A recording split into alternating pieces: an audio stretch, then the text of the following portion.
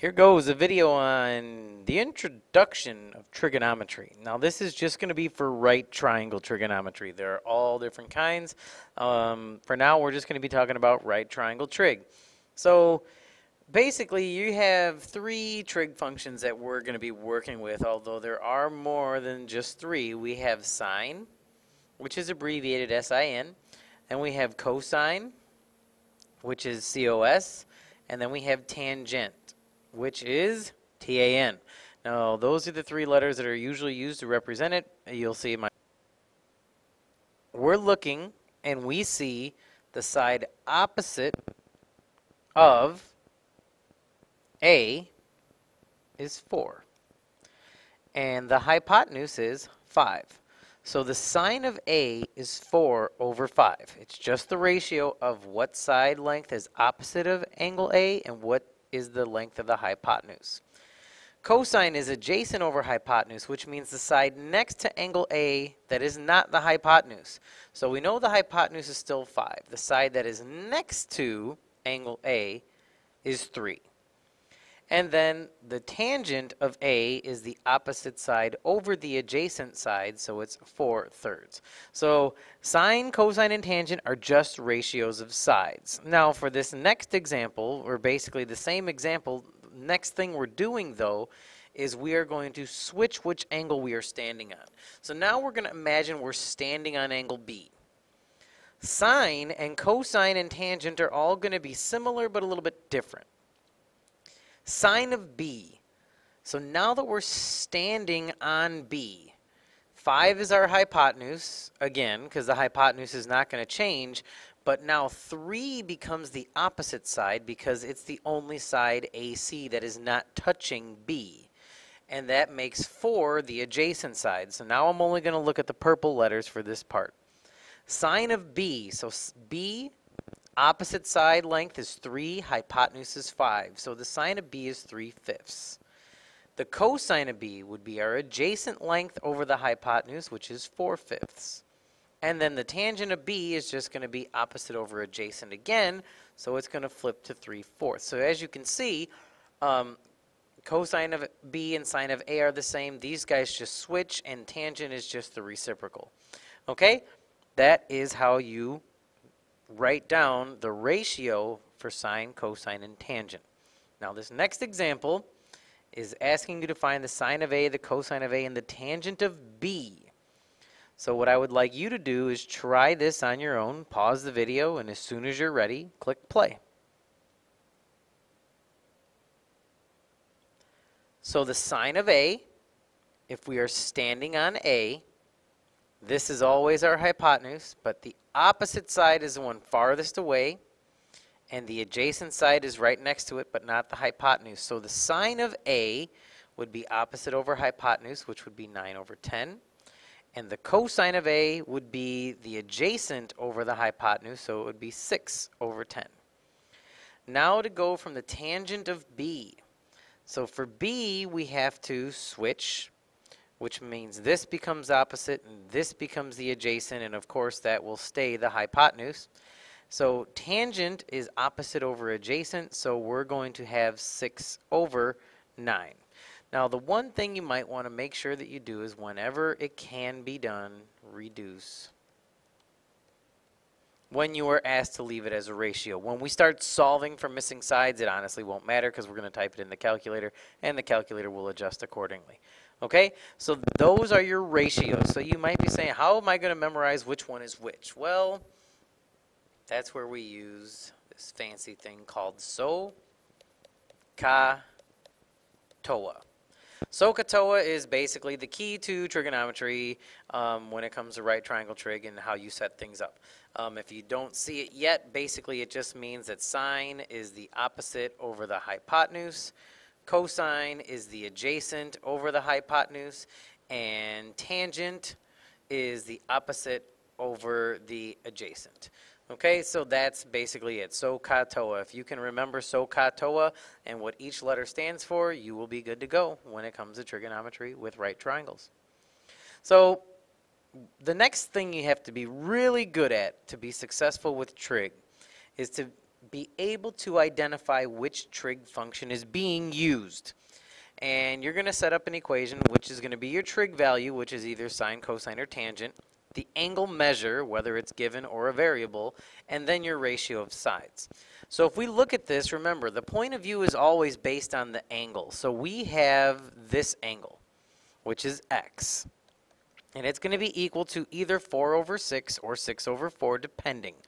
Now, from here, you look, 4 is your opposite, and then you look over here, 6 is your hypotenuse. Well, if you remember that SOHCAHTOA, the only trig function that uses the letters O and H for opposite and hypotenuse is S. So S stands for sine. So the trig function goes first, then your angle, and then it's opposite over hypotenuse, so it's 4 over 6. And that's it. You just have to be able to look at the diagram and pick out what ratio you have and write the equation. I'll step you through one more, then you can do the last one. So for this one, we're going to stand on this angle. Way far away is opposite. This one's our hypotenuse, and this one is our adjacent. We have an adjacent side we have a hypotenuse. The one that uses A and H is cosine. And our angle measure always goes right after the trig value.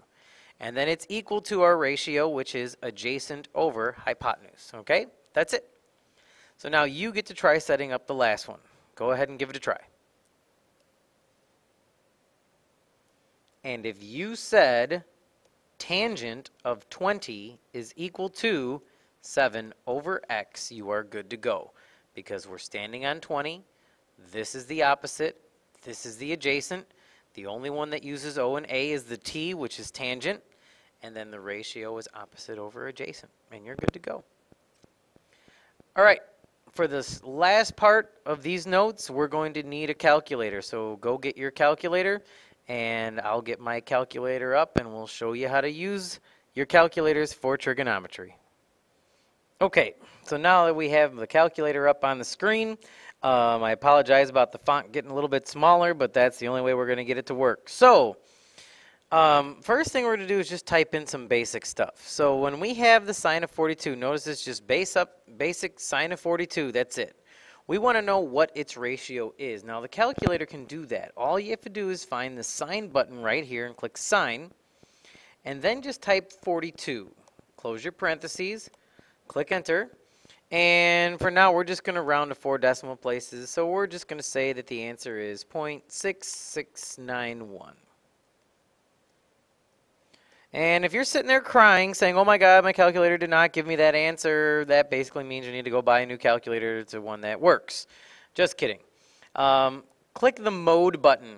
When you are working with trigonometry, in this class, you will always need to be in degrees. So all you need to do is click down couple times, go highlight degree, click enter, and then you'll be good to go. Then just quit back out of it, and then type the sine of 42 again, and I bet you you get the 0.6691. So don't worry, your calculator's just fine.